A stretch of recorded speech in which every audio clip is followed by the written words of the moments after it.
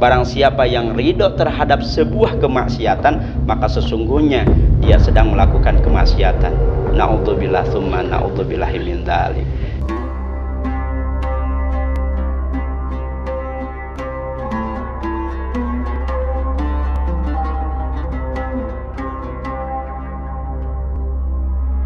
Assalamualaikum warahmatullahi wabarakatuh. Halo sahabat-sahabat sekalian, berjumpa lagi bersama kita di program Tanya Ustadz. Kali ini kita akan melanjutkan sesi sebelumnya, yaitu mengenai orang-orang yang rugi di dunia dan di akhirat. Alhamdulillah, kali ini kita juga sudah dibersamai oleh Ustadz Hendra Wirachandra. Bagaimana kabarnya Ustadz? Alhamdulillah sehat. Allahu Akbar. Masya Allahu Akbar. Sehat selalu Ustaz ya. Alhamdulillah. Uh, baiklah Ustaz, kita akan memperdalam terkait uh, pembahasan kita sebelumnya mengenai orang-orang yang rugi di dunia dan akhirat. Uh, salah satunya uh, salah satu yang disampaikan sebelumnya yaitu agar tidak merugi di dunia dan akhirat itu adalah agar kita itu saling menasihati dalam kebenaran. Uh, misalkan nih ada sebuah kasus, misalkan orang-orang terdekat kita yang kita beri nasihati uh, kemudian agar tidak melakukan kemaksiatan gitu, agar bertobat kepada Allah Subhanahu wa taala, tapi orang terdekat kita ini uh, entah tidak mau mendengar atau belum mendapatkan hidayah atau seperti apa Ustaz? Apakah kita masih mendapatkan dosanya atau seperti apa Ustaz? Baik, Masya Allah. Jadi yang perlu dipahami oleh kita bahwa tugas kita itu adalah hanya mengingatkan dan mengajak kepada kebenaran, ya. mengajak kepada kebaikan. Adapun yang bisa memberikan hidayah itu adalah Allah Subhanahu wa taala. Kita tidak bisa memberikan hidayah kepada siapa pun. Ya. Hanya saja tugas kita adalah mengingatkan dan mengajak kepada kebaikan, mengajak kepada kebenaran. Jangankan kita, Rasulullah Muhammad Shallallahu Alaihi Wasallam saja itu tidak bisa memberikan hidayah sekalipun kepada orang yang Rasulullah cintai. Hmm. Pamannya Rasulullah siapa? Abu Talib. Abu Talib. Wah kita tahu kan yeah. luar biasa bagaimana pamannya Rasulullah membela Rasulullah membantu menyiarkan agama Islam yeah. tapi ketika pada akhir hayatnya kan tidak mengucapkan dua kalimat syahadat sampai kemudian Rasulullah tuh netesin air mata hmm. turun ayat inna kala tahdiman ahbabda Allah yahdi mayasha sesungguhnya engkau wahai Muhammad engkau tidak bisa memberikan hidayah kepada orang yang sekalipun kau cintai walakin Allah yahdi mayasa tetapi hanya Allah yang bisa memberikan hidayah kepada orang yang Allah kehendaki. Jadi tugas kita adalah mengingat dan mengajak kepada kebaikan. Adapun dia apakah melakukan e, kebaikan atau justru dia melakukan kemaksiatan ya. itu mah bukan wilayah kita Ya, ya, ya. Gitu Kang Arga. Berarti kalau sudah tidak mau mendengarkan nasihat itu sebaiknya kita diamkan ya sudah. Seperti yang pernah kita dengar apa namanya sebuah hadis uh, selemah-lemahnya iman ya dengan mendiamkan itu. Itu gimana maksudnya Ustaz? Nah, jadi uh, bukan berarti selamah-lamahnya uh, kita membiarkan gitu. Kita membiarkan, nggak seperti itu gitu ya. ya.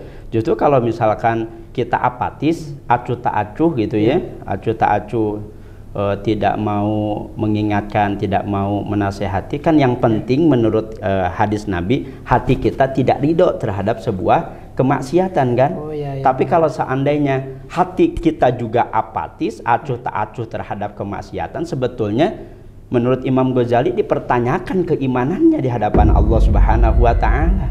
Bahkan apalagi kalau seandainya ada berupa kemaksiatan. Ya. Justru kita malah senang melihat kemaksiatan, malah ridho terhadap kemaksiatan ya. ini hati-hati nih. Man yardo bimaksiatin maksiatun. Barang siapa yang ridho terhadap sebuah kemaksiatan, maka sesungguhnya dia sedang melakukan kemaksiatan. Na'udzubillah tsumma na'udzubillahi min Jadi jangan sampai kalau ada orang yang bermaksiat itu malah hati kita biasa aja saja nggak ada merasa risih gelisah gitu saja betul harusnya ya. ketika melihat kemaksiatan tuh hati tuh nggak enak nggak nyaman nggak iya. ridho ya. gitu kan melihat ya. sebuah kemaksiatan jangan sampai kemudian justru kita malah senang bahkan memfasilitasi orang lain untuk melakukan dosa dan kemaksiatan naudzubillah summa naudzubillah min dzalik begitu ya. ya ada istilah jargon hari ini tidak pacaran nggak zamannya janganlah gitu ya. Sampai akhirnya difasilitasi jadi apa? Jadi penghubungnya hmm. terhadap sebuah kemaksiatan. Naudzubillahi min dalik. Al wasilatu ila haramin haramun. Segala sesuatu yang menghantarkan kepada keharaman hukumnya haram. Al wasilatu ila sunatin sunatun segala sesuatu yang menghantarkan kepada kesunahan hukumnya sunnah. Kita hmm. jadi penghubung ta'aruf antara ikhwan dan akhwat sementara kita pahami bahwa nikah itu adalah merupakan sebuah kesunahan. Yeah. Kita menjadi penghubung gitu kan untuk melakukan ta'aruf sampai kepada jenjang pernikahan. Kita yang bukan calon pengantinnya hanya penghubung saja, wasilah saja, insya Allah kita dapat pahalanya. Masya Allah. Masya Allah. Jadi kalau belum siap menikah, jadi penghubung aja misalnya. uh, baiklah Sat, ini yang terakhir Sat. Uh, apa namanya agar kita tidak menjadi orang yang rugi di dunia dan dan di akhirat dalam surah asar tadi kan disebutkan yaitu melakukan amal soleh. Ada nggak amalan uh, soleh yang istimewa yang khusus yang buat uh, anak-anak muda nih biar uh, selamat dari dunia dan akhirat biar terhindar apa namanya dari kegiatan-kegiatan yang tidak bermanfaat main game berlebihan misalkan nongkrong di warnet nongkrong misalkan 24 jam di warung gitu ya Gimana Insya Allah. Ya, kalau kita melihat uh, hadis yang lain yang disampaikan oleh Rasulullah Muhammad SAW, sebetulnya suatu saat ketika Rasulullah sedang berkumpul dengan para sahabat, ya. Rasulullah pernah bertanya kepada uh, para sahabat, tahukah kalian siapa di antara kalian yang rugi nanti di akhirat kelak? Ya. Macam-macam jawaban para sahabat. Ada yang menjawab, oh orang yang tidak sholat pardu ya Rasulullah yeah. kata Nabi enggak dia sholat pardu bahkan sholat sunnah ia lakukan oh kalau begitu orang yang tidak puasa Ramadan ya Rasulullah kata Nabi enggak juga dia berpuasa bahkan puasa sunnah ia lakukan oh kalau begitu ya Rasulullah orang yang tidak berzakat kata Nabi enggak juga dia berzakat bahkan dia bersedekah Oh, kalau begitu ya Rasulullah, orang yang tidak melaksanakan haji. Enggak juga kata Nabi. Dia melaksanakan haji, bahkan umroh ia lakukan setiap tahun. Ya. Maka kemudian para sahabat bertanya, kalau begitu ya Rasulullah, siapa orang yang rugi di akhirat kelak? Maka kata Nabi, jarusu waqati urahim. Tetangga yang jahat kepada tetangganya dan orang yang memutuskan tali silaturahim. Pada saat itu kemudian Umar bin Khattab radhiyallahu anhu dengan keheranan bertanya kepada Rasulullah Muhammad sallallahu alaihi wasallam, "Ya Rasulullah, apa yang menyebabkan ya rugi padahal kan ibadahnya luar biasa bagus kepada Allah Subhanahu wa taala. Hablum minallahnya baik." Ya. Kata Nabi, "Benar. Ibadahnya bagus. Hablum minallahnya baik kepada Allah Subhanahu wa taala, tapi hablum minanas hubungan dengan manusianya jelek." Nah, ini yang menyebabkan uh, kenapa seseorang uh, menjadi rugi di akhirat kelak.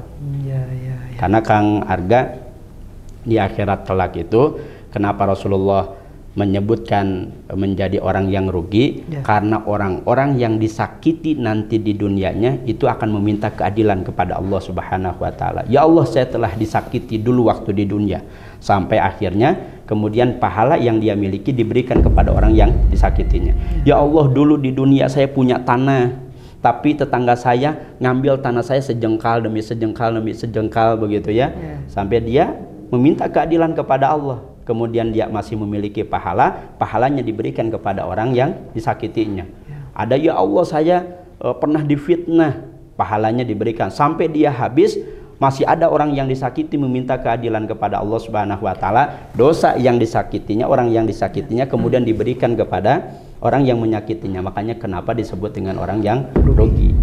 Jadi dihisap uh, apa namanya? pahalanya itu dipindahin ke orang lain setia. Nah, iya sebagai sebuah uh, ganti kan? Ganti. Atas dasar karena disakiti selama di dunianya tadi. Astagfirullahaladzim. Nah, itu kalau tadi ditanya amalan apa yang sekiranya supaya menghindarkan kita supaya tidak menjadi orang yang rugi jangan menyakiti orang lain jaga lisan ya. jaga hati jaga sikap supaya tidak menyakiti orang lain ya, karena ya. semuanya nanti akan dipertanggungjawabkan di hadapan Allah Subhanahu wa taala Baik, Ustaz, terima kasih atas nasihat dan pesan-pesannya. uh, baiklah sahabat-sahabat sekalian, itu tadi bagaimana kita agar tidak menjadi orang yang merugi di dunia dan di akhirat, yaitu jangan menjolimi orang lain atau tidak boleh memutuskan silaturahim, kemudian tidak boleh uh, berperilaku jahat kepada tetangga kita sendiri. Nanti kalau misalkan kita berbuat zalim kepada orang lain di akhirat nanti pahala yang kita dapatkan di dunia ini malah untuk orang lain dipindahkan karena orang lain akan diadili Ustaz ya di.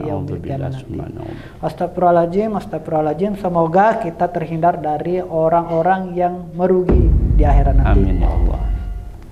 Mungkin itu aja Ustaz. Terima kasih atas kesempatannya. Sama-sama. Di sesi di program Tanya Ustadz ini.